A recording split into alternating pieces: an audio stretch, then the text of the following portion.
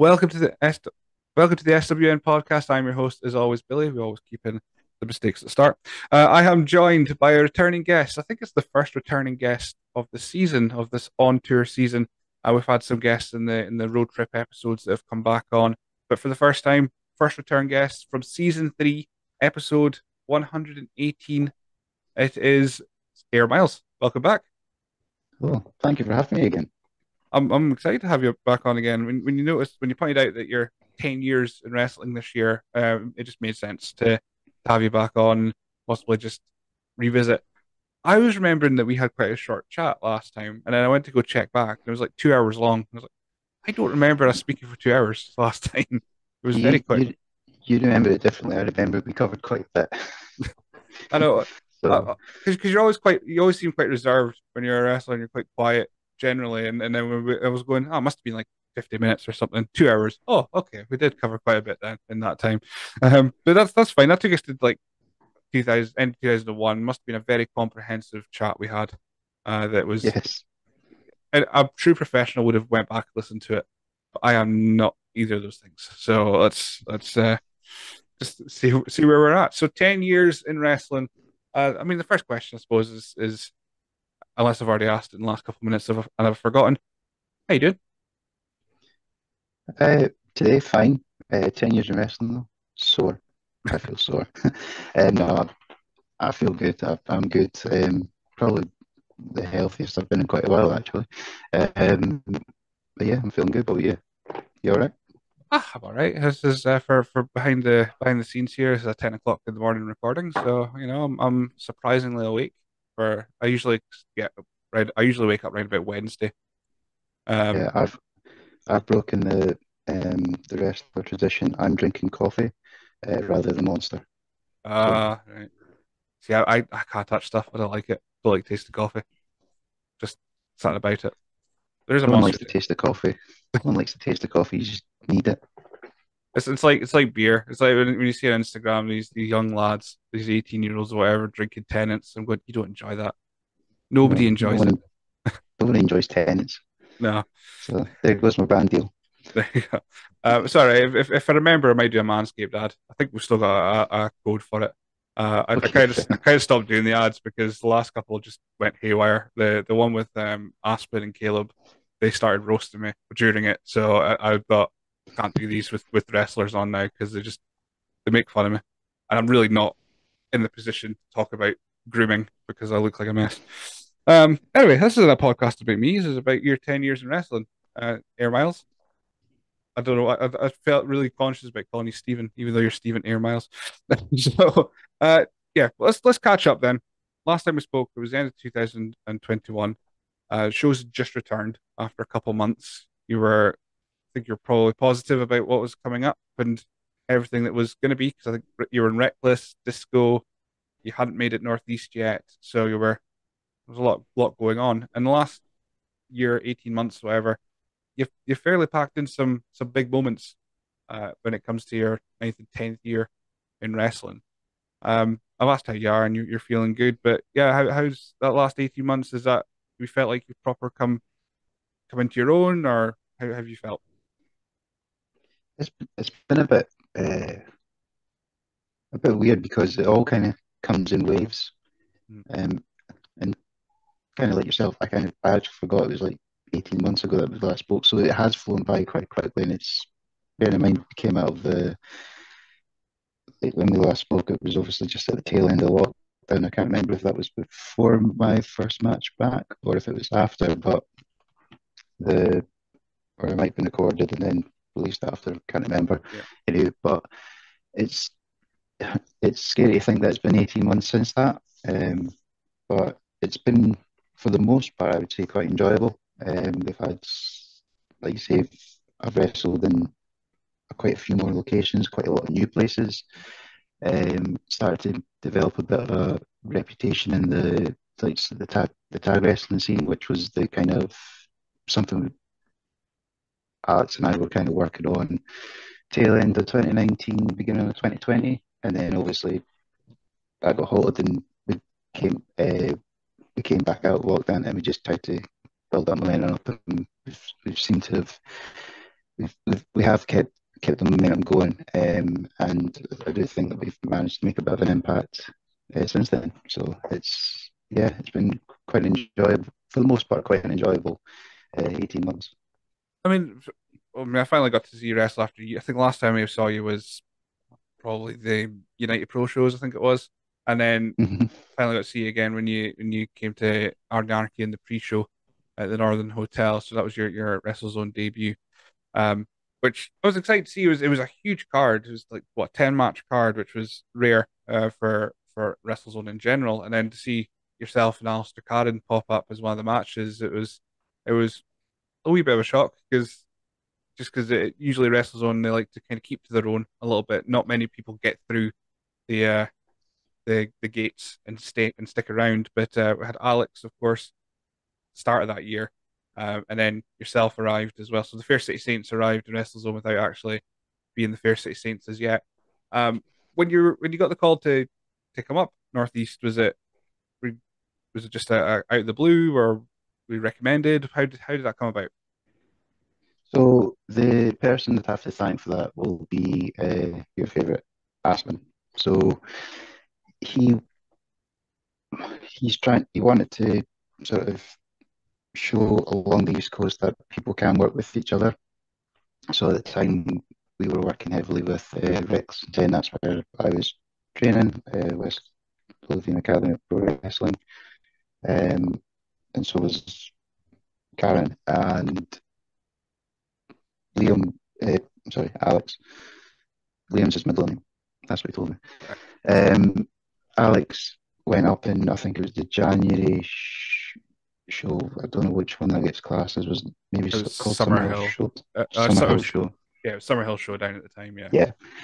Um, there was talks of maybe me coming up at the same time, but I was unavailable, so uh, Alex went up at the same time as me uh, that time, and then he got an opportunity in the uh, Regal Rumble. That was it.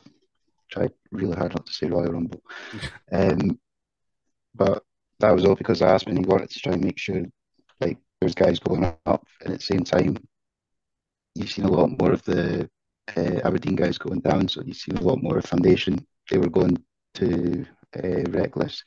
I believe at the time they were due to take part in the Reckless Tag Team Tournament, um, and they were also getting booked a bit more for Discovery. So that was all kind of Aspen was kind of like the go between and getting people. So for me to actually get into Aber- Aberdeen Anarchy, that was just um, it was a, just an opportunity. Said, "We're looking for a pre-show." As you know, they stacked the card quite heavy, so there was a lot of guys on their show, a lot of their own guys, and then there was a gap to fill in for the first pre-show match, and they managed to get in there, uh, me and Alistair, um, and it was quite a good opportunity. But looking back on it now, I know how WrestleZone and how the fans react, it, it does seem I never understood why a lot of people thought it was so out of place until I wrestled for them more frequently. I understand that how the fans react to the characters and they go along the, the storyline or the character arc with, with those wrestlers. And then for just two guys to just be thrown in there, like who, you know, it's it's like a little bubble because Aberdeen's a bit far out the way out of everyone else. Mhm. Um, and they do keep a lot of their own guys. So it's like two new guys and they've never seen them before. And it's like, so what actually turned out to be a bit harder to try and build that kind of what the actual WrestleZone fans had, like with all the other guys, with all the, the like the bond between the, the fans and the, the character. We had a bit more to do because we had to try and do that where some people had a couple of months, maybe longer, to build that relationship. We had 10, 15 minutes, maybe 10, I think it was 10 minutes. So it was it was quite hard. I think by the end we started to build something, um, and certainly obviously as things went on, I've managed to build on top of that. But it was it was good for what it was. But yeah, it was oh, I would say nerve wracking. I didn't feel like that when I was going into it. Obviously, when I was in, in the ring, and I was trying to work with everyone, like with the crowd. Then it, I started to realize you need a bit more. But it also uh, helped me develop myself as a wrestler because it's, it it forced me to just not go through the motions because you can you can get you can go into autopilot and just try and uh, just do the same stuff and then people react. Whereas that I had to actually work the crowd a bit more, so it was good. It was good. Um, but yeah, enjoyed enjoyed it in the end. But yeah, like yeah, yeah, like you're saying, it was there was two two guys thrown out there, and and I mean, nerds like myself will know who you are because because this is what I do as my in my spare time is is talk about this, and um, we're a pocket of folk that'll know yourself, possibly Alistair as well, probably less so because you you wrestled up here a little bit, um, through through uh, Bucky shows and Mint Law and possibly and stuff like that. So you, you were in the area, uh, a little bit, but uh, but no, for for for statisticians out there, uh, at the moment I put up, I, I've tried getting to YouTube Shorts. TikTok was nothing for me. I can I can I can I like watching it. Can figure out how to use it. So uh, at the moment, I think your Swanton on on Alistair's like got five point three thousand uh, views so far. So you know, it's it's uh not all bad. But no, the match itself, it I say for for two guys that had to kind of no experience in that that that kind of crowd because it is it's more it's more character than wrestling. You could probably get away. You've you see you've seen Alistair Sterling matches. It's it's you can do literally next to nothing and people will still love it. So yeah, it's it's you kind of have to go back into not regress yourself a little bit, but realize you don't need to do all the fancy stuff because we don't care up here. if you if you if you do something funny, we'll love you anyway. Yeah, at the same time. I get that now. so from, from that point onwards, though, that wasn't the only place you started. First, Reckless Intent, and you went back to Discovery, uh, as we mentioned, seemed to be your two homes. Uh, one of your homes, unfortunately, closed, uh, being Reckless Intent. Uh, they, they Uh, took a hiatus. hiatus, I would say. It's a, um, I don't think it's a so long farewell. It's a goodbye for now. Mhm. Um, I, I think it'll be open um, in in the future. I think there's scope for it to be open in the future. So, So where, where are you, where are you kind of based now? You said West Lothian was, was your kind of base station for for training. Is where where are you about now? Are you going to uh, Edinburgh for Joe Henry, or, or is it just private training? What's where are you kind of uh, up? so I don't I wouldn't say I have like a, a home as such. I've I've been going to kind of just sort of doing like private sessions, just like getting access to a wrestling ring. I attended one of the classes at um, Joe Henry School um, a couple of weeks ago. To be honest, up until maybe what we're talking about May, I was actually I was actually injured. Um, I was in November 22 or was October, I can't remember, but it was one of the ones we did a Comic Con, Discovery did a Comic Con at uh, Edinburgh, and I had a match and I took a power bomb, and all of a sudden, I just, as soon as I got through the curtain, I just felt really off. And then, with it being a Comic Con, they had um, param paramedics or first aiders, and then it turned out I'd, I'd actually had a concussion. So I was, I think I was maybe about three or four weeks where I was unsteady, so close to a month. And then I was like, right, okay, I'm fine, I'm fine. And then any, I think when I got to January, so it was, yeah, maybe November, fine, fine, okayish for December. And then when it got to January, I just felt off and I was just having constant headaches. And then from Jan, that was from January to, we're talking maybe April or May. I just couldn't, I just couldn't like function properly, like with my head. And even when I was trying to do training sessions, I would do like maybe a 10 minute training match. I would sit down, and get my feedback. As soon as I stood up, I went to collapse. And I went, I went, had CAT scans, uh, CT scans and stuff, blood tests. They couldn't find anything. And then when I went and I went to a sports masseuse, and I was, she's like, "Do you suffer from headaches?" And I was like, "Yes." It's like, she's like, "Okay," and then she went, "Okay, here's here's where your spine is at your at, at your like where it meets the top of your shoulders." And okay, and she put she put her finger on where my spine was when I got to my shoulder blades, and it was one inch out of alignment. and it was actually restricting circulation going to my head. So basically, anytime I did any exercise, I wasn't getting oxygen. So I just went lightheaded and just kept collapsing. So she fixed that.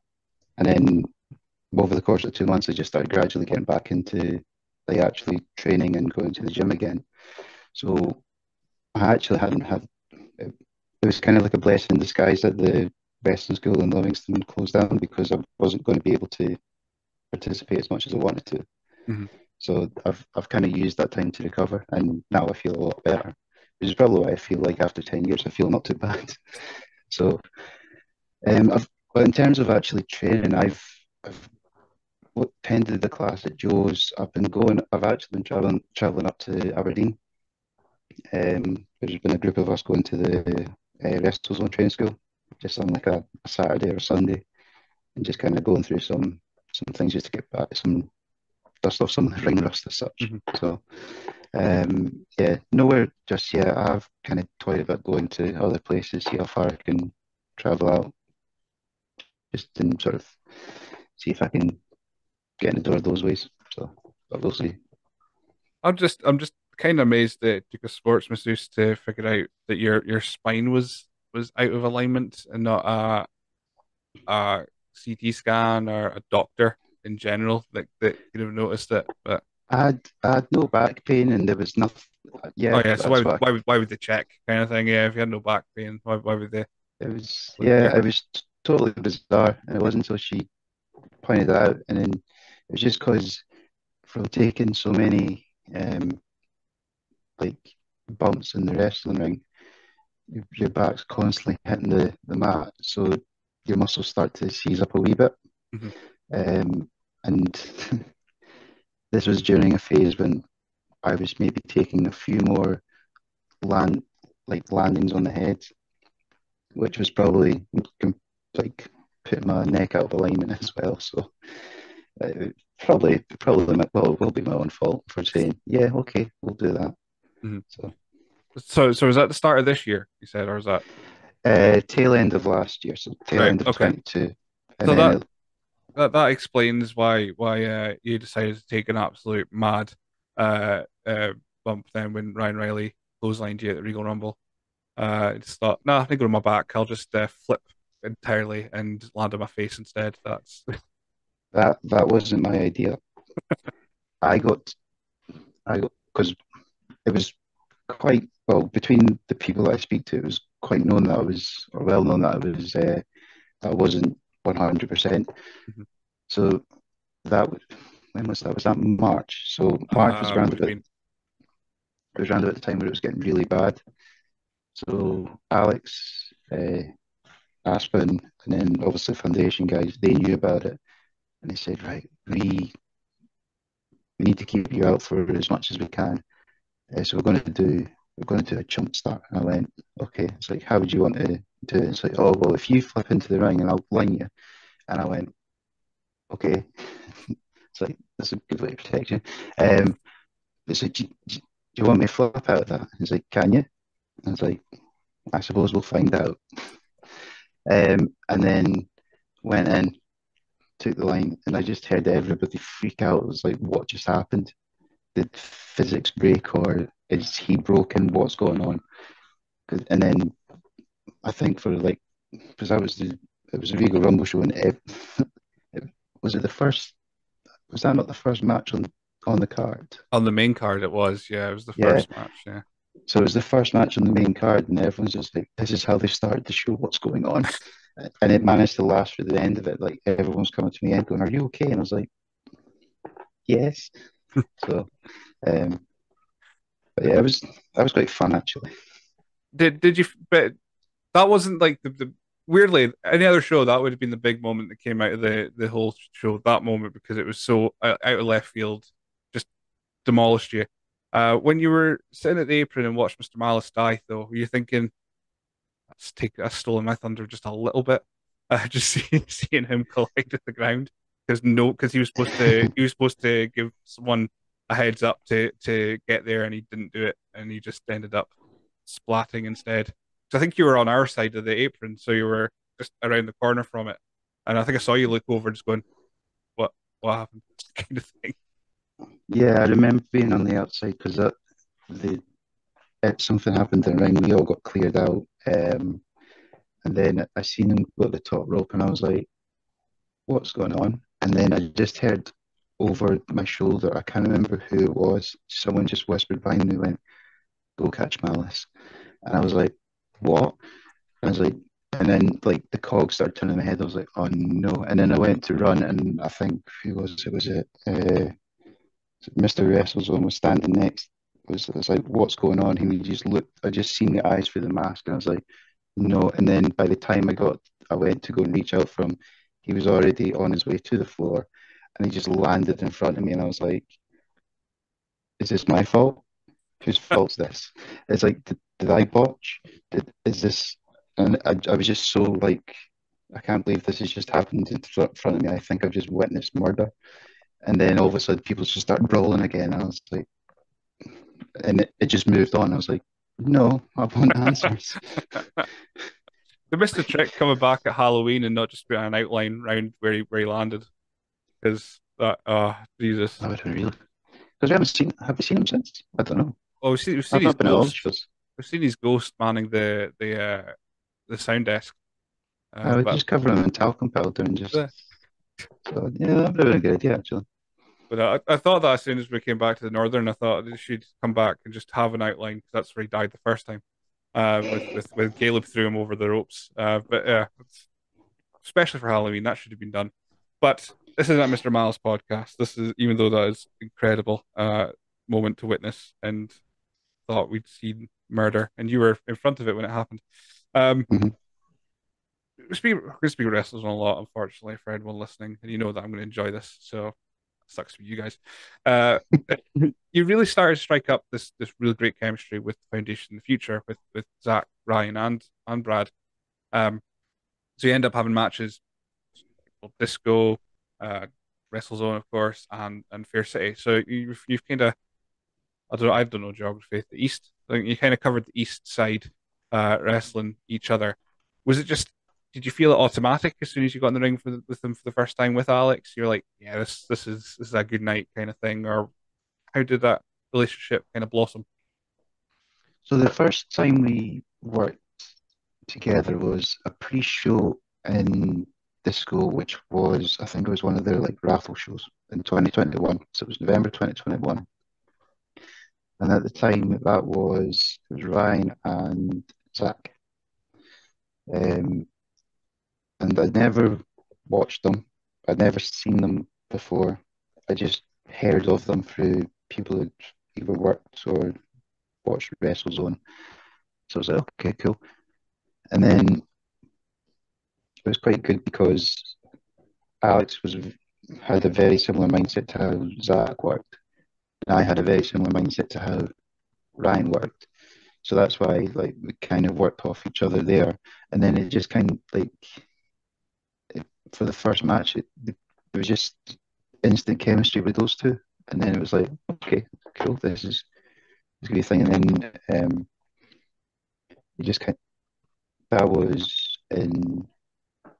Think up until that point, we hadn't worked each other until we got to the WrestleZone again, which was almost a year later. But yet somehow we managed to. That was a different version. That was uh, Brian and Rad uh, Ryan and Brad, and then but we still had that same chemistry. So it it was something I, I would say it certainly clicked from the get go, and we just had this. What's good is what you find with most tag teams just now is it's two singles guys thrown together. That's it. They just they'll have two singles matches and then they might do a couple of things together. We were two teams wrestling as teams. So you're actually getting proper tag team wrestling and like the psychology standpoint of like working together and working as a team. It just made it a bit more interesting rather than trying to fight. Like again, we've done it a couple of times where Alex and I will wrestle two singles guys, and then we've got the the experiences working as a tag team, but they don't. So it's trying to cater around that. Whereas we didn't have to do that, we could just go out and have a proper tag match, mm-hmm. which was a really good fun because, and also it was easy because we didn't have to overcompensate for other things. So I think from the get go, we, we certainly had good chemistry in that sense. Absolutely, and it came to, to head in December uh, when Christmas Chaos rolled round, and um, you'd like I said you'd already had had a couple battles with them uh, elsewhere, but this was for the titles, so quite a, a big moment in the in Danestone, Danestone Community Centre. Um, it was a packed crowd from what I remember as well. It was it was absolutely just like packed the, the gills for VIPs and the three people that didn't want to pay three pound to come in and, and join the general lot. But so winning the titles, would have been your first tag team titles together, uh, or possibly in general. I can't remember if you won them anywhere else, but um, first tag team titles though, in front of a very hot crowd. Uh, was that just culmination of yeah, this this this series this works, or just is that a more uh, a culmination of the work you and Alex put into really being a team? Uh, I would say it's it's both really because uh, Alex and I had been team we got put together again. We were kind of thrown together, but well, if you ask, we were thrown together, but we kind of wanted to work with each other anyway. But we were mm, 2019, mid to late 2019, and then obviously we got to the end of 20 end of 20, uh, 2022, and we also we've now got like tag tag team championships. So but I think from that it's kind of like this nice little bow tie saying, "Yep, that's it. We've we've kind of established ourselves that we are a tag team," um, and it's kind of like the payoff from working it out. Because um, there was a couple of times where we thought, "Is it working? Is it not? Is tag team wrestling worth it? Is it easier just to get to work as a singles guy?" But we just kind of persisted, and then eventually we obviously got that's the payoff in that sense. I think in terms of from working that match, it was just there was a lot of good stuff. Like I I felt like it went really well. A couple of bits that were like mm, it, it could have been better, but I, I would say that about any match. But the from that match, we were able to go. There's something here, like you know how you would get like all these like tag team rivals like Edge and Christian and the Hardys and stuff. Like they were always two that you could kind of rely on to like put put together in the match, and they would just go and deliver. I felt like we from that point on we were able to deliver because um, we just got on so well with them. You know the way that again the psychology and, the tag team stuff, and they all from a standpoint they all bring in like from those guys they bring in something different from each bit. So if you wrestle Dynamite, he's like your fast paced indie guy um, that can do all the moves, he can take all the moves, and he's just so smooth doing it. Uh, Ryan Riley, he's he's like he's got the psychology down to to fine art, um, and you know that if funny story, we wrestled a singles match ahead of um, Aberdeen Anarchy, and when we were going through it, it was apparently it was one of the funniest things they'd ever seen because we were so when we were talking about it, they were just it was like, is that okay with you? That was the end of every sentence. And like it's like what, what's this? And it's like, well, the match was fine.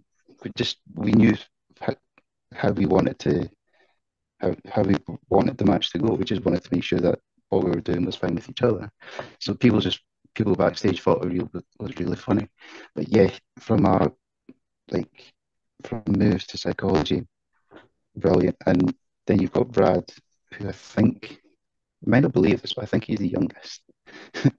Doesn't look it. No, he's so big, but he's just like this, like old school, like all Japan esque wrestler who will throw some of the like hit some of the biggest moves you'll probably see.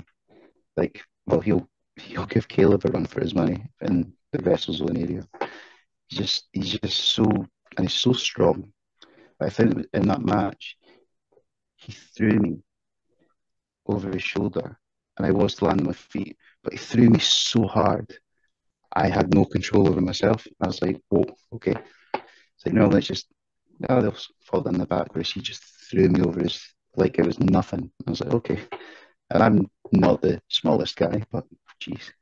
Um, so yeah, like they've all got three elements that they like. It's not the same, and I think that's what makes them quite a cohesive unit. Is they can all bring something different to the table, um, and it just keeps it a bit fresh for them. And because you can, like again, because it's a trio, they can alternate about. It's like you've got any combination you want. So and then put them in a match, then you got the you've got the best of them all.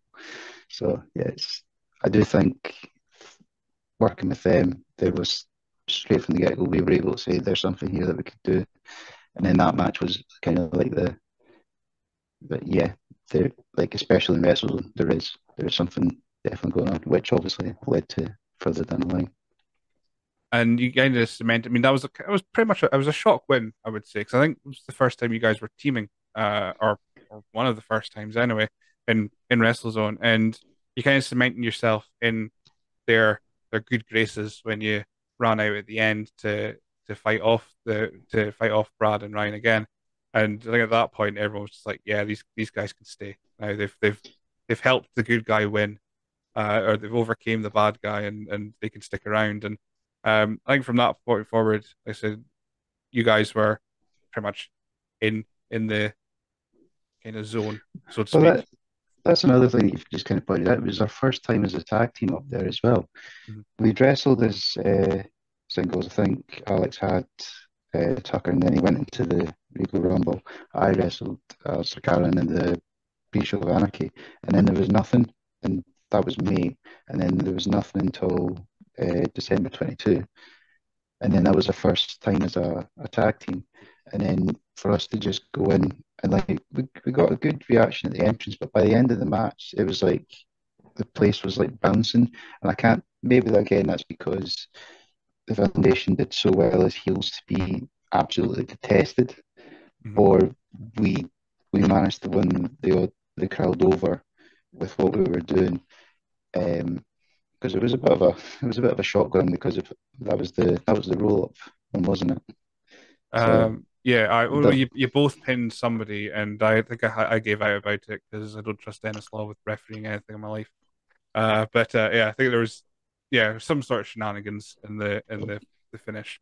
Um, but, yeah, that, and as you say, like we came out at the end during the cage match, and even just as soon as we went through the curtain, we got a reaction even though there's three guys in the middle of the cage diving off the top, hurting themselves, and then we come up and we're still getting a bit of a reaction. So it was it was quite good, and that was like okay, we're we're accepted, and well, not accepted. They like us. They like us at WrestleZone, so uh, certainly an incentive to stay. Absolutely. So we'll we'll get away from from wrestling for just a moment. Although it seems to be that that's been your last kind of year or so is is coming up here, and, and Discovery obviously as well. So we'll speak about about Discovery, um, which has mostly been you and Alex uh, as a team. What we got to see though through that was was uh, your the the promo style that Alex is now going with for the Fair City Saints, which is getting you to do a voice recording and then just making everything else from there. Uh, was that literally is that how it happened? You did the voice recording, just going make a promo, don't do anything stupid kind of thing, and then you just made a stupid promo. Was that just as it happened? Um, you just didn't have time, or or do you quite enjoy what Alex is able to concoct together for yourselves as this kind of father and son lore uh, story? yeah, I'm still not sure where it comes from, the father son thing, but because there's only a four year age gift, uh, difference. People mm-hmm. think like, you know, you know, like the British invasion when it was Nick Aldis and Doug Williams. It's like there was a 14 year age gap. People think that's there. And I'm like, no, I started really young. I've just aged horrendously. So I look a lot older than I do. like, uh, so, but he, it's something I, I just went, you know, I'll just leave this kid. I would have accepted the older brother, but no, they went, they went with the father thing, I think, because it was funnier. I was like, okay, whatever. But then we started to do that in into the uh, into the wrestling, and then it came to promos. It was during lockdown, and we are like, "How do you stand out compared to like everyone cuts a promo facing camera?" I hate that. Just someone standing facing the camera. It, just it doesn't feel natural. if someone was interviewing you, I, it's a bit more natural to me. But we're like, let's let's think of something different. And then uh, someone mentioned, well, why don't you try and do it like Alex's video, YouTube videos? And we were like, uh, sure, okay. And then Alex, we did one. I think the first one we ever did it for was maybe the nine nine. Can't remember if it was the nine nine or if it was the one after that. But we did it, and then people started messages going, "That was great." I was like, well, I I did nothing really. I kind of just I'm not even like a director. I just kind of like as a producer going, mm, maybe you should try and do this. And then uh, Alex will go away. He'll make something up, and then it comes back, and then every time it's like, how do you top? How do you always top the last one? And because then stuff like we're getting reactions, people are like messaging us saying that's great, that's funny. Um, it's like we're not tr- not necessarily trying to be funny. We're not comedy wrestlers, but we're doing something that the people are reacting to, and people do react to mm-hmm. to funny. So um, I think the one that you mentioned, I just did the recording, was we was that the last dis- Discovery show?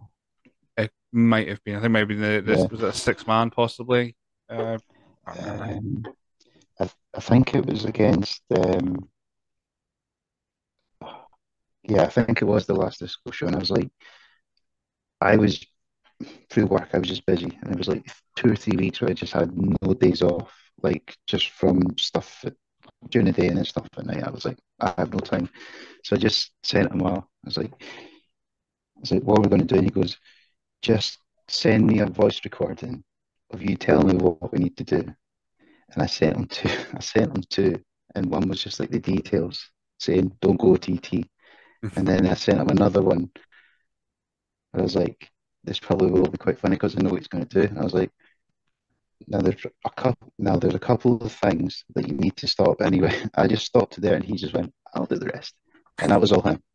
He just decided to cut a promo, and I was like, I was like, "Was do you think this is too much?" And I went, "No, just, just, just. Uh, I, I, I'm, I, you have my seal of approval on it." So he's he's very creative. Mm-hmm. There's a reason why he make. There's a reason why his career is on YouTube. As much to I have to accept it. I used to wind up saying. I used to wind up saying, mm, "Go and get a real job."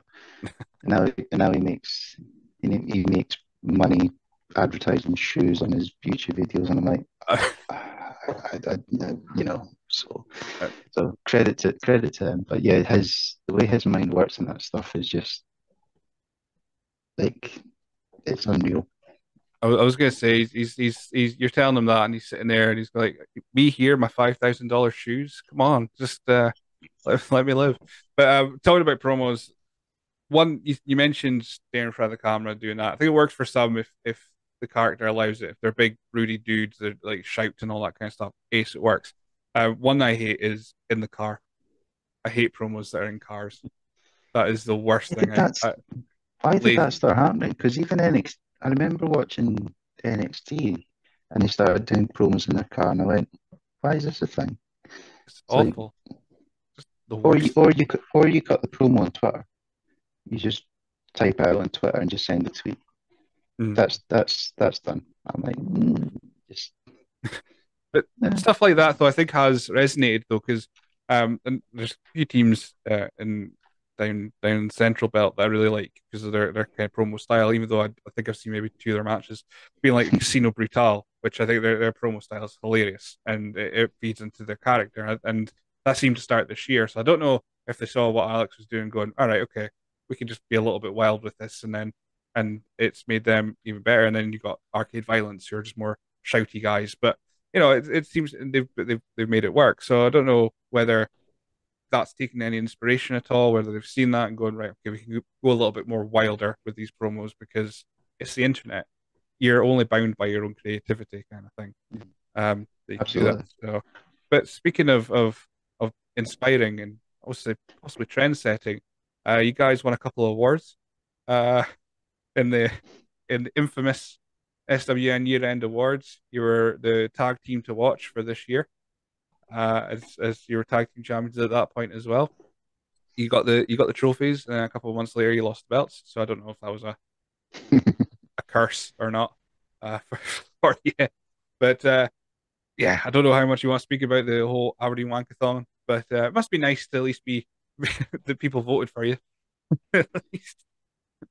It's it's a it's a fan. It's well, I'm assuming it's a fan vote. So yeah, it, it's down to the fans' perspective. If like, it's not to say that like you advertise, you do podcasts, you do with everyone across the Scot across Scotland. Just because someone like one particular area was getting more than the other, true. But if you were to go back four years ago, in 2019, it was all it was all in another part of uh, Scotland. It was all in Glasgow, and that's not to say anything about Glasgow, but at the time they were putting on high high quality events or high quality shows. Um, so yeah, that and that that was just the case at the time. But if you were to look at at the moment at the moment, if you're looking at like sort of how many tickets are being sold or uh, what shows are getting best reactions and stuff like that, Aberdeen was get was doing better. They were selling out all, all their shows, and it's not like it was fifty people. Their shows are full. And I was watching some of the, well, I was watching the matches that were all kind of like where the people who got awards were involved in. So yeah, it's I can understand why why they won, and also, again, it's a fan vote. If your fans got if you've got the following, people will vote for you in these kind of things. Mm-hmm. So it's yeah, it, it's I don't know. I take take things like that with a pinch of salt. I I feel like it's it's one one man's opinions, but what's what's the expression? Opinions are like uh, parcels. Everyone's got one. Exactly. That's it. Uh, but yeah, it's, it's that's it. It's, it's, still. I mean, we're coming up to. I've got a few months before. I, in fairness, again. I I'm going to say that because I won one, so I you know that's that's it. Um, you, where's your trophy? Is it in pride of place anywhere now? It is. It's actually here, so it's it's there. Yes, it's in, it's in an arm's reach, just in case. Just in case you need to show it off um, on any Zoom calls at work going, I've, I've won this. So, you know. Yeah.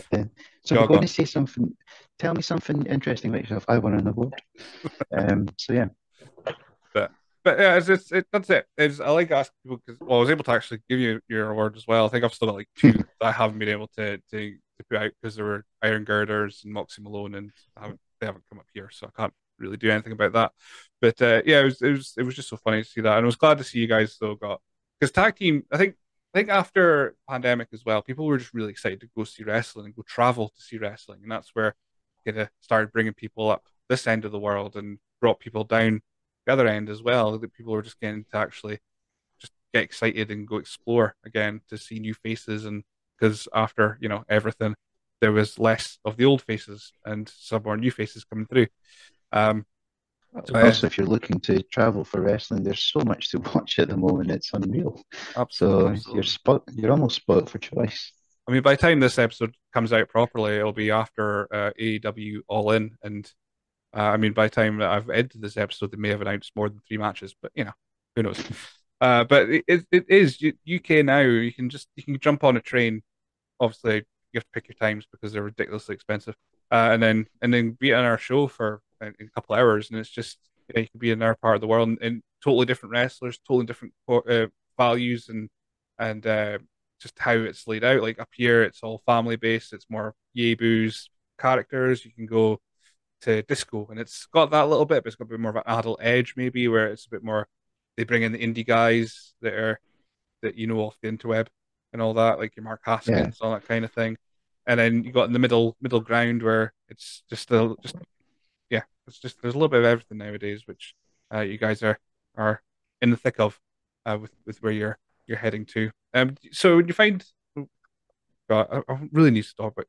Stop talking about WrestleZone so much, but um, so you find up here you, you've had to adjust your style a little bit because you know that you don't need to do as many, uh, like intricate flippy doodle things because you don't need to up here.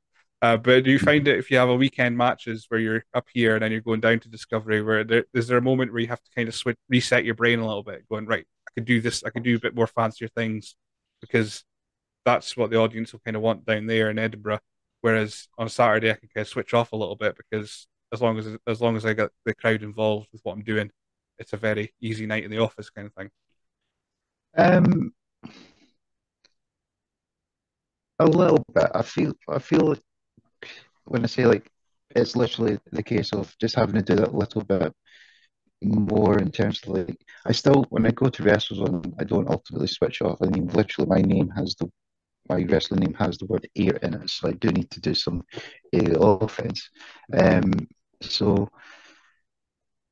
what what I do find is since in the past ten years it's no surprise I've gotten bigger, and it's not because I've gotten bigger in the sense of like not just like in the middle, but I've also just built a bit more strength and stuff. So when you also look across the board, and probably when you look at wrestlers and that, I'm above average height and I'm also above average weight. So I'm someone who can do the moves.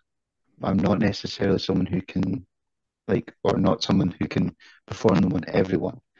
So like it's it depends on who I'm working with. If I can get away, if it like if I'm working uh, Kings of the North, like I was able to do a bit more of what I can actually do, and people are like, "Oh my god, this like this is amazing! This heavyweight." I mean, I'm not heavyweight, but um, it's just so in terms of that aspect, it just it really just depends on who I'm working. I will try and cater what I can do. Like if I need to do a move off of somebody, um, I'll wait till I'm working with someone who's a bit bigger, steadier, like uh, Corvin or uh, Brad, because I know that they can take that. Um, whereas if I'm working someone a lot smaller, it's not going to work as much. So I tend to do a lot more of the heavy lifting in that aspect. It's why we always laugh at, um, like Webb and I will always have a laugh because you normally have an tag team if it's not they're not two people who are the same. You either get a heavyweight and a flippy guy, and in our tag team, I'm the heavyweight and the flippy guy, and he's the like almost like the character that does all the talking, but he does a lot of the indie like technical stuff. Yeah. Punch so very. I didn't say that. so, but no, he's in in that aspect, it's quite it's quite an interesting dynamic, which is also I think what makes us a bit more what might make us a bit more appealing is because it's not just your standard heavyweight and like cruiserweight. It's it's different uh, scenario, but yeah, it's uh, I don't I wouldn't say I changed too drastically. Um, I might do. It just also depends on the venue. If I go into a venue that's got a low ceiling, I just go, why do you book me? Like, I can't. I can't. Mission Hotel. Yes, yes, yes. Yes. I, I go, okay. Um, so, you know, I, I do what I do what I can in situations. That's why I've started doing standing moonsaults because I can do something flippy without having got the top rope. Mm-hmm. Um, so it, yeah, it's that kind of aspect. I wouldn't say I differ too much though. I do try and keep it consistent because if people want to see me if I don't know if the people travel specifically shows just to see me, but if they were to see me, I want them to make sure that they get what I can do across the board in in the environment that I'm in. So yeah, absolutely. Uh, but yeah, I low ceilings, station hotel, and then having Dino Murphy, uh, a lot of high flyers, and and Brad. Like this is a bold choice to this is a bold card to have on when when you're on a low ceiling. But uh, it seems to all work out. Mm-hmm. Uh, I think uh, did you did you tap someone tap the ceiling? Uh, a few actually tapped the ceiling uh, this past whatever it was last Saturday. Uh, it was. Oh, I, it, it wouldn't have been me. I I, I made sure I didn't. Right. I've I, I've I've seen a couple do it. I've I've watched people do it before. Like you know, they've got little square tiles mm-hmm. that just kind of they're just like polystyrene, not polystyrene, but they're very light. And you can see like someone's getting lifted up for a suplex and their feet go through and then the tile drops and there's dust all over the ring. Like, like best asbestos. Yeah, yeah just it's got 20 years of dust just there, breathing it in. Um, and if you're in the middle of a match, you're just breathing heavy, so just inhaling it all. So there's no no avoiding. speaking of of possibly breaking things, uh, we'll we'll go on to the internet questions that we got. So we've got Aspen. So I was looking to to get suggestions for for uh, a tagline for the title, and Aspen came back with "King of the Broken Ring." Uh, it was I I I know Anarchy there was a broken ring. Uh, is this a, a thing that happens often in your matches? Um, depends how you define often, but I have over the course of the 10 years, I have broken three rings on four occasions. Um, all all unintentional. However, I do I will argue that it, it's probably down to the quality of the ring. But there was I can run through them quickly as well. There was one in Dundee where the side there's a, like it, obviously the frame of the ring is just four sides with posts, and then there's five beams in the middle. One of the side beams had collapsed after I took a I did a springboard drop kick. And I was quite chuffed because it's the only time I've ever hit it. But as soon as I hit it, I, we, me and me and the guy, we just landed at the same time, and then the, like the bit that held the post up sheared, and it just dropped. And then later on, like folk, people were trying to fix it during the match, and then I did my handspring Yamag- Yamaguri, and because the the beam wasn't holding the board, the board went completely vertical into the canvas, and my feet touched the barrier. But it was like almost cartoonesque, where I hit the barrier, and it was the best one I've ever hit because I got so much momentum bouncing off the ropes. So I broke that one.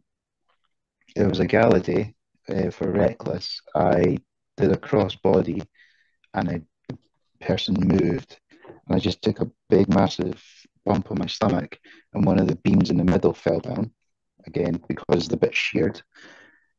Uh, I did a training match. That third time was the reckless one. Um, I did a Russian leg sweep, but I was slightly off center and close to the thing, to the to the edge. The one of the side beams that held it in, it sheared off again. And then the last one, I think, which is probably the one that Aspen will remember, we did a show in Uproll, uh, Uproll Championship Wrestling in Sunderland, and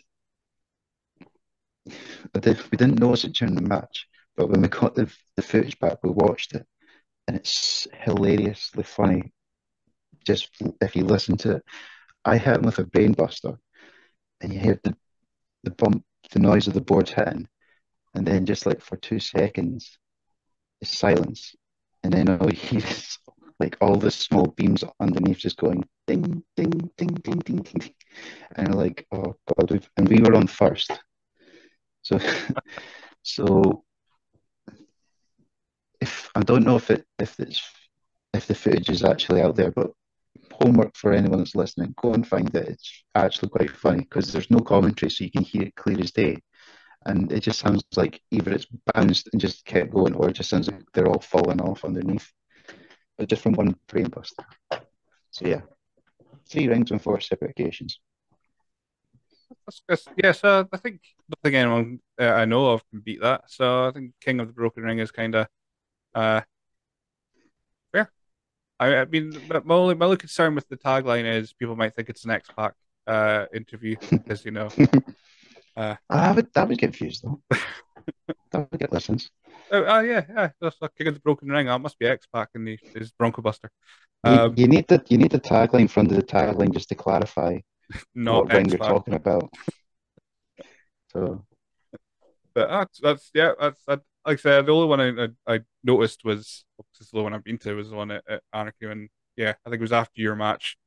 There was an impromptu um, intermission because uh, something had moved. I think it was your match, possibly that a board needed to be, be put back in or something like that, and uh, just Uh, I don't count that as broken, but however if it is, then it's four, five rings on four separate occasions. Sorry, WrestleZone. you got to you got to take them off as you go. So uh, this goes next. Then that's just got to give Alan a shout just to confirm when when you're going to break his ring, so to speak. Yeah, I, I, mm, I might need to rephrase that. Phrasing, yeah. Uh, so elsewhere, Community Pro Wrestling, you made your debut for um, in Govan. So you returned to Govan. I can't. I. I didn't look for the pictures, but I'm assuming you guys didn't didn't wear orange again. No, we, we specifically didn't um, for that reason because I let we learned the, that last time. Uh, don't wear orange in Govan. Um, no, we wore the black stuff, which was safe. Um, because yeah, Govan's Govan's a scary place to wrestle in. It's all right though because this time we were actually getting cheered, and I think that was the Govan show we were wrestling Casino Brutal, mm-hmm. and at, the, at some point we went to the outs like they said, oh, let the fans chop us, and I was like, what? Because this this was my first match after my concussion, and they said that, and I was I thought it was still like concussed. I was like, did you just say that to me? So you just want all these people to like. I was like, okay, hold the arms, and I just seen kids just throwing punches at them, and I'm like, and I just heard one go, "Get, throw me back in the ring, throw me back in the ring." And I just that, that was a you said, and threw him back in. That was that was my first community. Well, it was my only community pro show, I should say. Um,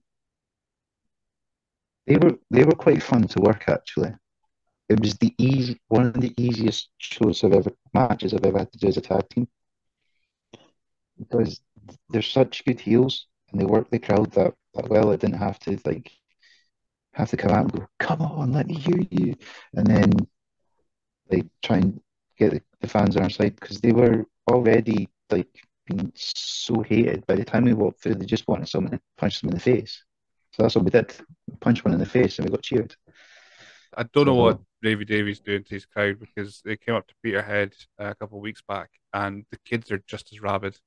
I, I don't I don't know what he's doing because I've never seen I've seen kids be arseholes at uh, WrestleZone shows, and I've I've seen them play be arseholes at WTL shows when they come to Elgin, but I have never seen these, these kids so absolutely wired and terrifying. I mean, the, anyone who's seen the, the videos of, of the road trip show I did, I had to I had to figure out how to blur backgrounds because I got some interviews and I had to blur them out because these kids kept going after all the all, all the heels. So I was speaking to Ellie Armstrong and they kept running in the back of the shot and, and shouting and they did the same for Sam Barber. Um, and at one point I had to stop recording. I had to cut off a bit of it because because he was wearing pink and they just kept kept uh, yeah was not nice comments they were shouting at him and I was like, where am I?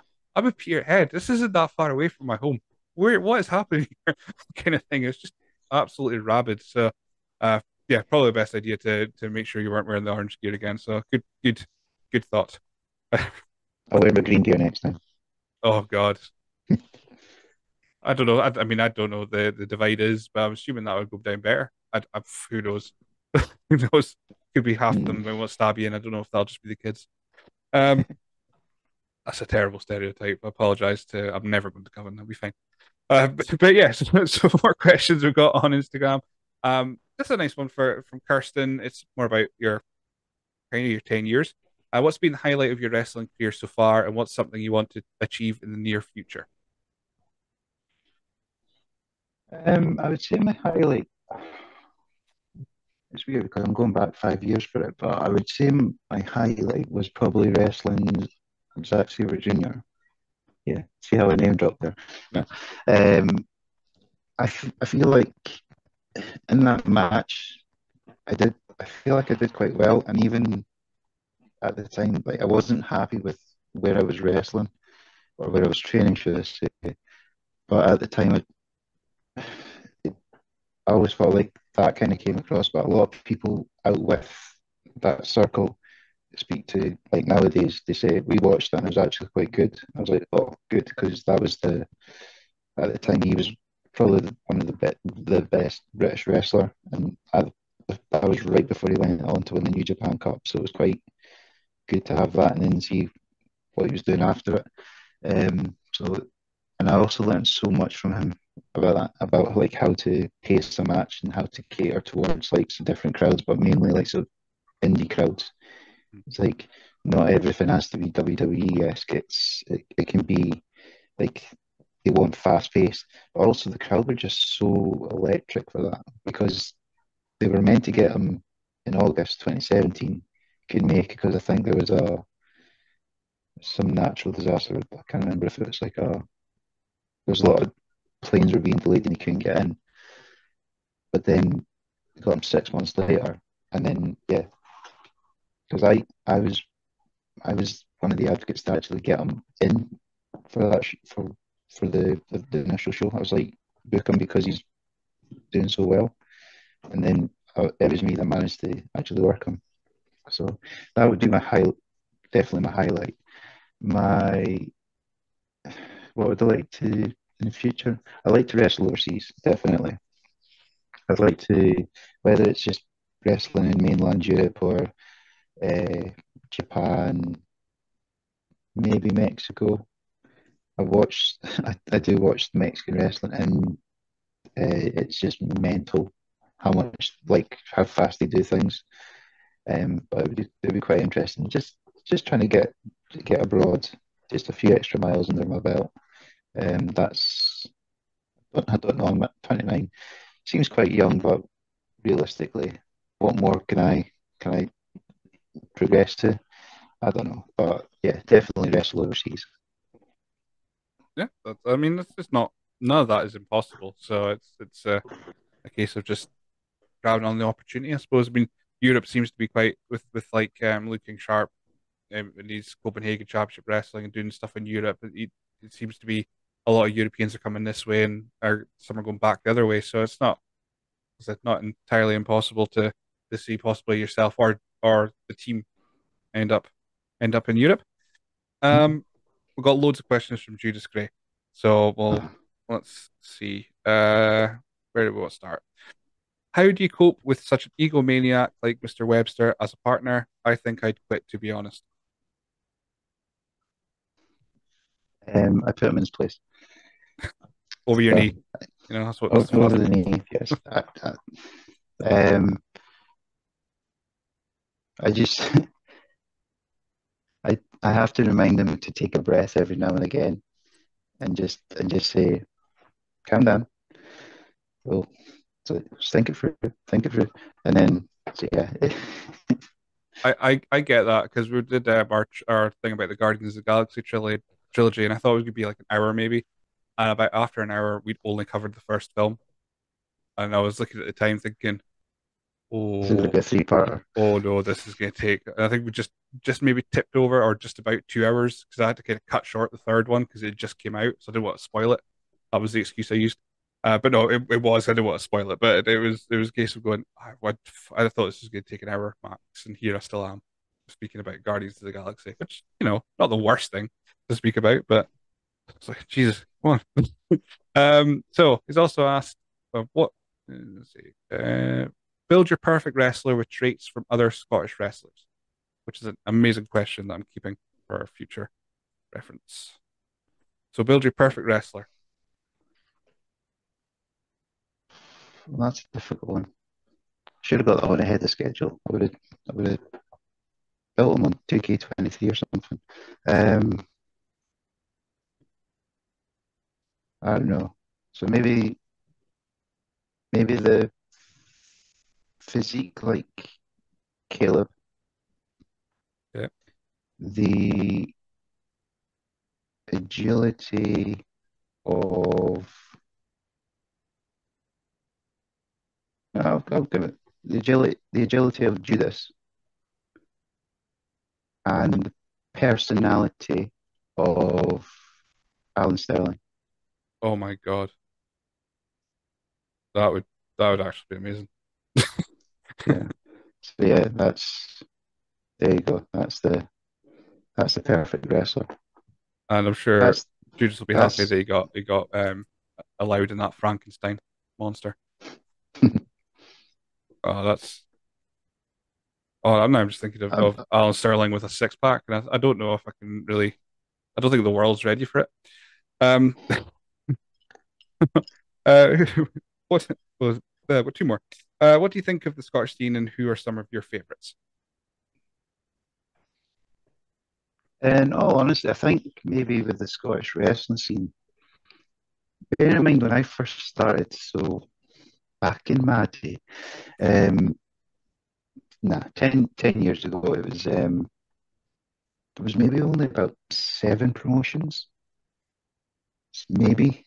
I can't remember. The Like it was, I feel like it was so long ago, but I feel like I think did only less work when I started the website, so I'm probably yeah, was probably was yeah. only seven. So, so there was there was seven promotions, and now if you were to look at it, there's quite a lot. Well, quite simple. There's quite a lot, um, and I'm not sure why. I'm not. It's probably because a lot of people who work together had a falling out and said, "Well, we're going to create our, our own wrestling promotion with blackjack and hookers." Um, so, and and now you might know this better than me. Is maybe 20, 25 wrestling promotions in Scotland? I think so. I think we cover 18 to 20, I think, and there's ones we don't cover. So I think that's probably the So other five. so you're talking about 20, 25 wrestling promotions, and on top on top of that, you've then got maybe about 18, fo- fif- at least 15 wrestling schools off the back of that. So there's there's so much, and what you need to remember is, if you're looking at just Scotland, Scotland's only got a population of what, seven million. So there's probably not even that many promotions if you went to like other countries like in England, who have got like a population of 70 million. It's it, there's quite a lot, and I do think because of that, you what you do find is there's a lot of people who wrestle in shows, but they only wrestle specifically on those shows. Um, and there's maybe reasons for that. But I do think there's there's maybe too many, but there's too many of like the same thing. It's it's not a variety of product. Um, and then there's obviously parts of Scotland where it's heavy, like no offense, but if you looked at Glasgow, out of those 25 that you said that you cover, there's probably about 15 of them within that small bubble. So it's there's quite there's quite a lot going on. And then if you think on this day and age, obviously there's people who are struggling to pay things and you want them to go like to go wrestling shows. It's like, well, which one do you go to? Because I think at one point I, I literally looked and there was one that was like Thursday, Friday, Saturday, Sunday, all in Glasgow. And like you know, you can only pick one. Mhm. So if if it was done maybe properly, they could they might have been able to work together and actually like go to a bigger venue, draw a bit more of a crowd, and then shows will maybe look better and have a bit more of a better presentation rather than turn up to a show that's only got uh, 10 people in the, the front row because 40 people attended the show yesterday. That was like less than a mile away. That's my opinion. I, I get that though. Last last Um, weekend, last weekend, the fifth of the fifth of August, there was five shows on, three of which within a 16 mile radius at the same time. there, there you go. So you've you've done the stat. I love a stat. So thank you for providing that for me. It's like you knew I was going to answer that. Answer that. Yeah. But yeah, it's um, it it's that kind of um thing. I think that's that's having a big impact on it. But like I say, if there's not a lot of variety, it's all kind of the same. When I say variety, I mean like it's all the standard like either family friendly shows. And I understand that because if you look at WWE, they draw families. Mm-hmm. Fair enough. But there's maybe some there's maybe an alternative wrestling product that's maybe missing. Like you do have ICW, which is the over 18s, but they're primarily doing likes of Glasgow or the West Coast. Maybe like you've got disco, but they still disco's probably the closest thing you have to that, but they still do tailor to. So it's kind of like a hybrid. It's indie wrestling, but it's family wrestling at the same time. Maybe there's some there's scope for like a something over in that. I don't on the west east coast. I don't I don't know, but yeah, I think at the moment there's quite a lot, and it's hard to you know because again, people are bulking on shows. There's maybe a couple of people aren't ready to be on shows. I know for a fact that when I first started, I definitely wasn't ready to be on a show. Mhm. Um, I was 19 and I, wanted to be a wrestler, and I got told you can be on a show. I was 19, so going back in time, actually, to be fair, I did say at one point, I think I need to stop and I'll go back, but that's another story. Um, and that's also another question. So yeah, I do think there's a lot going on at the moment, but there's some some bad, some good, um, quite a lot. Um, highlights. So you've got quite obviously. I will testify that the foundation probably the best tag team you can get at the moment, um, and definitely definitely underutilized. Um, obviously you've got guys who've been around for ages, like of BT Gunn, Kez Evans. Uh, Alex and I worked down at the last Discovery show, and it was incredibly fun to work with.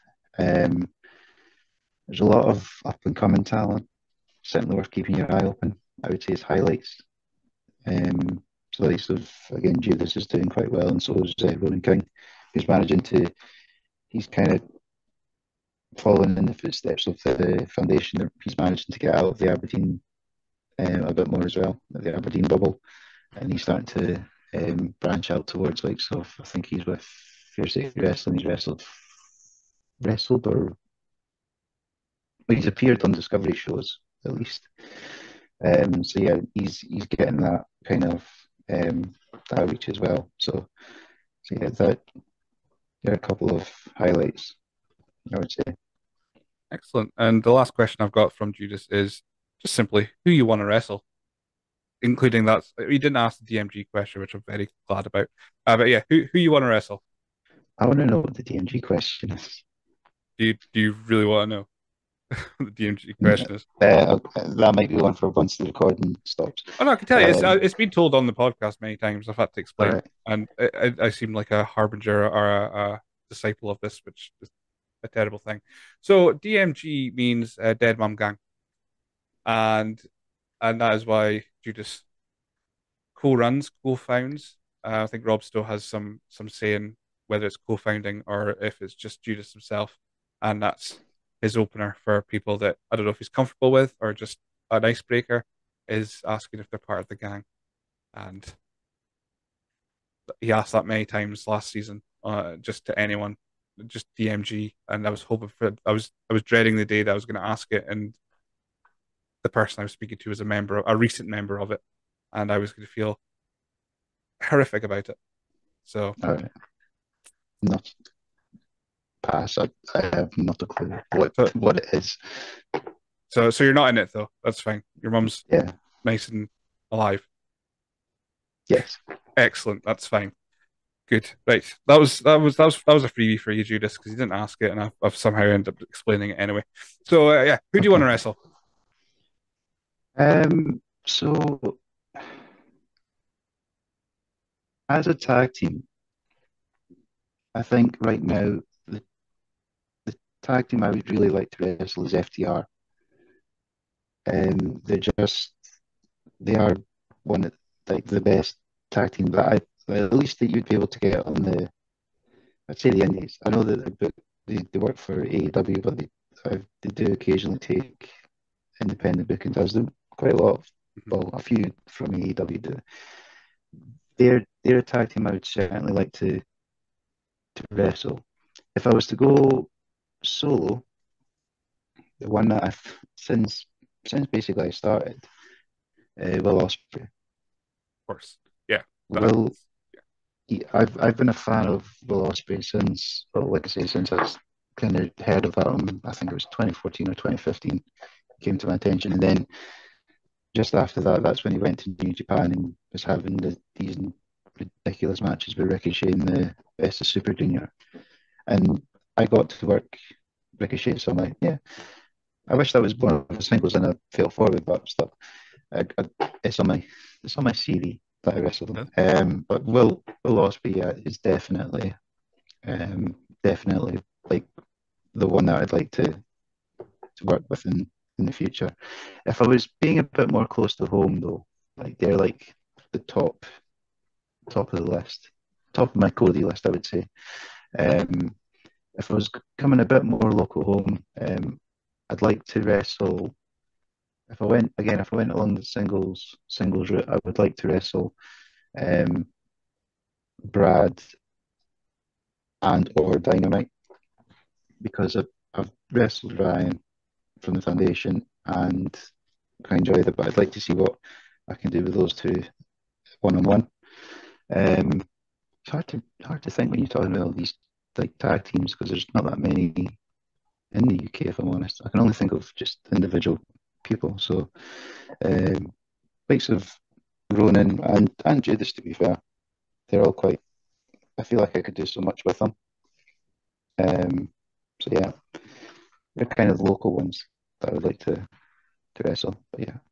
I, I, I floated the theory um, for Arianarchy when I was doing the road the road trip for that one, and uh, I was I was floating that that Connor would win his opportunities, which he did win, and for some reason him and Ronan would end up forming a alliance up north. I was thinking, oh, if you guys want, kept the tag titles, that would just be a nice little, nice little like uh, showcase for all four years and, and that kind of thing. I mean, it could still happen, but I thought I was just that was the idea floated about round about Anarchy season because I got all the res- I think I got just about all the results wrong, except the main event. That one I I nailed on. Of course I did. You thought we, you thought we'd retain? I did. Yeah. Um. Caleb. Uh, Caleb. I was pretending there that Caleb was my wife. Kelly. Uh, Kelly was uh, absolutely positive that Caleb was going to win, and I was very smug in the car after the show. So that was. You got one right. I got I got one. I think I may That's... have got the ladder match as well, but that was about it. The rest of them was was all like, oh, I think they could win, but if this happens, oh, and uh, all the ones that I'm gonna need about for the main event, I was like, Aspen, I need to be right, kind of thing. But um, so yeah, your match is, is all like hinging on on other results. So I was like, oh, if if so and so wins here, then maybe it's going to be the foundation. If so and so wins, maybe it's going to be the Fair City. I don't know. I don't don't ask me. I'm gonna uh, no thing. So um, yeah, I've got a terrible record for WrestleZone predictions. Sorry to disappoint. Yeah, I dare you. At least I didn't put money on it. Uh, right. Okay. So I think that's that's we've kind of kind of went over the last wee while. If anyone wants to find out more about Air Myles' origins, go check our massive two-hour chat that we did uh, last year, or 2021, episode 18. This will be 200 and I think it'll be 220 possibly by the time it goes out. I'm not sure. It's just I've done too many. Um, but I'm glad that we got our, our catch up here uh, because it's it's just fun to just keep tabs on you kind of thing in the least creepiest way possible, which is just getting on the podcast every so often and asking how it's going. Um, so yeah, was this so this will come out in about a month. So Inverurie will pass. So we may weirdly may have you on again like two days later uh, when this gets released because I'll have the road trip out two days afterwards. Uh, but for now, is what's do you know what's on the horizon? Is there anything you're excited for on the horizon, or at the moment you're just taking taking the bookings as they come? Just taking the bookings as they come. Um, we might, hopefully, we might see a few more um, appearances elsewhere in the future. Who knows? Um, might might see me down in England. Might see, might eventually see me abroad. Who knows? So fingers crossed. Uh, but that's it. That's I think that that'll that'll do it. Anyone wants to know where where where you're from? Um, anyone wants to follow you on social media? Where can people find out more about Air Myles? Um, I don't normally use it a lot, but if you want to catch me on Twitter or is it X? I'm still going to call it Twitter. I'm kind of rebelling. Um, if you want me on Twitter or Instagram, you can get me at, at airmiles underscore 17. Um, on Facebook, you can get me at Air Myles hyphen Pro Wrestler. Excellent, easy as that. Perfect. Well, thank you very much for taking time to speak with me today. Nice. Thank you for having me, Billy. Cheers.